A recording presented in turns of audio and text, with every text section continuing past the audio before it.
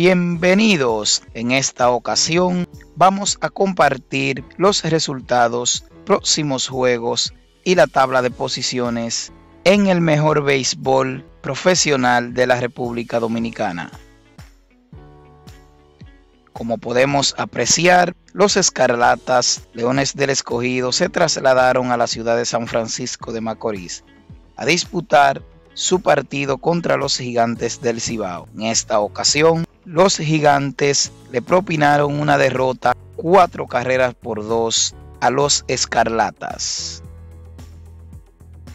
Por otra parte, podemos ver que los toros se trasladaron a la ciudad de Santo Domingo a disputar su partido contra los Tigres del Licey. En esta oportunidad, los Toros del Este salieron victoriosos seis carreras por cuatro sobre el equipo azul. Por otra parte, visualizamos que las águilas cibaeñas se trasladaron a la ciudad de San Pedro de Macorís a disputar su partido contra los verdes, las estrellas orientales. En esta ocasión, las águilas salieron victoriosas cinco carreras por dos sobre los verdes, estrellas orientales. Para el día de hoy tenemos los siguientes enfrentamientos.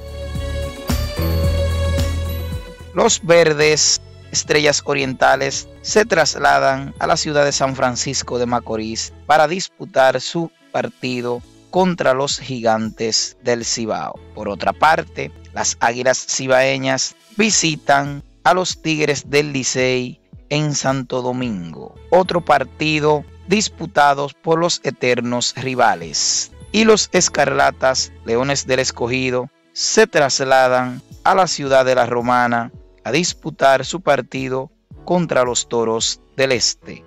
Observemos la tabla de posiciones.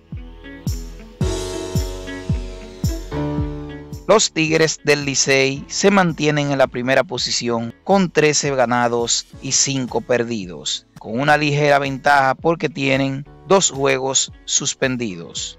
Las Águilas Cibaeñas en segundo lugar con 14 ganados y 6 perdidos. En la tercera posición se encuentran los gigantes del Cibao con 10 ganados y 9 perdidos. En la cuarta posición se encuentran los verdes, estrellas orientales, con 8 ganados y 12 perdidos. En la quinta posición se encuentran los leones del escogido, con 6 ganados y 12 perdidos. Y en la última posición tenemos a los toros del este, con 6 ganados y 13 perdidos. No olvides suscribirte, darle like y dejar tu valioso comentario.